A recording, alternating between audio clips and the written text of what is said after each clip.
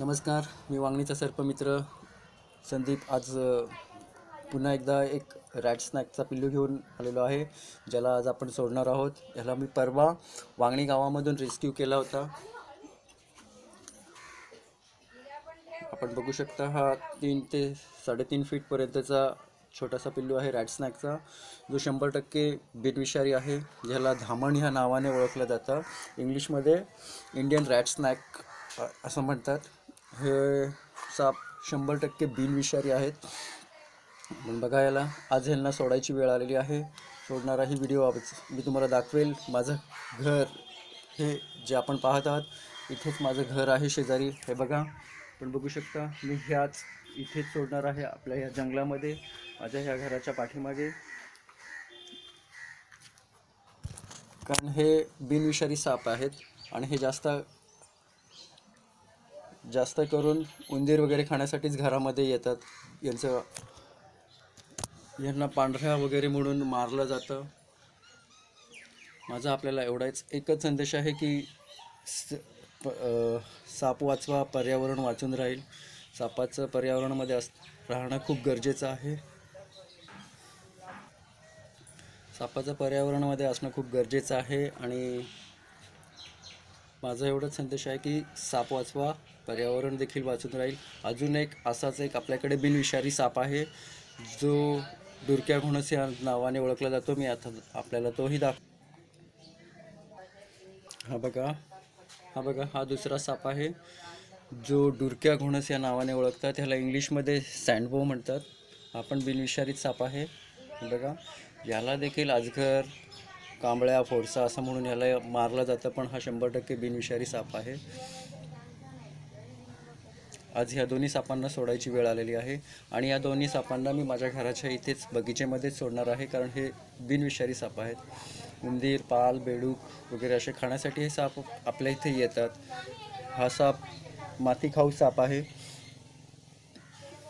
याचं खाद्यपदार्थ हे पाल बेडूक सरडे सापसुळी तसेच छोटे सस्तन प्राणी असे खाण्यासाठी हा येतो. हा पण साप मी वांगणीमध्येच रेस्क्यू केला होता. आणि आता आपण ह्या दोन्ही सापांना सोडायसाठी वांगणी माझ्या घराजवळच जाऊ सोड सोडणार आहोत. आपण बघू शकता. हे बघा. हा एक साप आहे आणि दुसरा साप. रॅट स्नॅक या बॉटलमध्ये या दोन्ही सापांना आपण सोडायला जाऊया. आपण बघू शकता मी माझ्या घराजवळच आमच्या इथेच सोडणार आहे. कारण हे दोन्ही साप दोन्ही साप बिनविषारी असल्यामुळे आपण ह्यांना इथेच सोडायचा निर्णय घेतला आहे म्हणजे मीच घेतला आहे. मी बिनविषारी साप माझ्या इथेच सोडतो. रॅट स्नॅक वगैरे असे भरपूर साप मी माझ्या इथेच सोडले आहेत. हे आमच्या इथे बाग आहे. ज्या बागेमध्ये झाडं झाडं वगैरे आहेत वस्ती आहे. आपण बघू शकता सर्वप्रथम आपण ह्या सापाला सोडूया. डुरक्या घोणसला. हा पण माझ्याकडे दोन दिवसापासून आहे. हे बघा ह्याला आपण सुरक्षित जागेवर सोडूया. मातीमध्ये जास्त राहणं हा पसंत करतो म्हणून आपण ह्याला मातीच्याच ठिकाणी सोडूया. बघूया कुठे इथे चांगली जागा आहे. ही जागा मला योग्य वाटते. मी ह्या इथे सोडतो. आणि हा इथून हा साप इथून जाईल.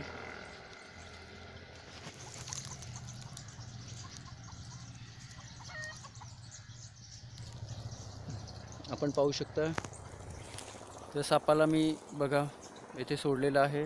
हा ब्राऊन कलरचा बघा तो गेलेला आहे.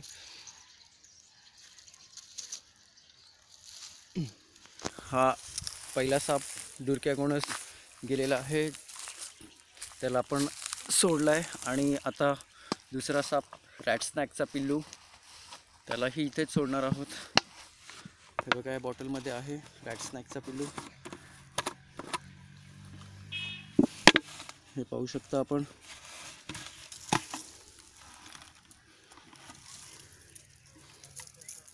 हा आहे रॅट स्नॅकचा पिल्लू.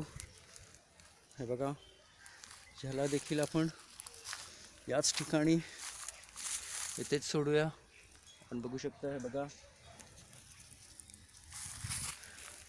रॅट स्नॅकच्या पिल्लालाही सोडलेलं आहे आणि हे बघा रॅट स्नॅकचा पिल्लू पण गेलेला आहे. मी सर्पमित्र संदीप नेलू आपल्याला एवढंच सांगेल की सापांना पर्यावरणमध्ये वाचवून ठेवा. सापांना पर्यावरणमध्ये वाचून ठेवा. नाहीतर येणाऱ्या पिढीला फक्त सापांचे फोटोज दाखवायला लागतील आणि हा असा असा साप होता एवढंच सांगायला लागेल. साप हा देवाने दिलेला आपल्याला सगळ्यात चांगला गॉड गिफ्ट आहे. म्हणून साप वाचवा पर्यावरण वाचेल. एवढंच बोलून मी इथेच थांबतो. जय हिंद.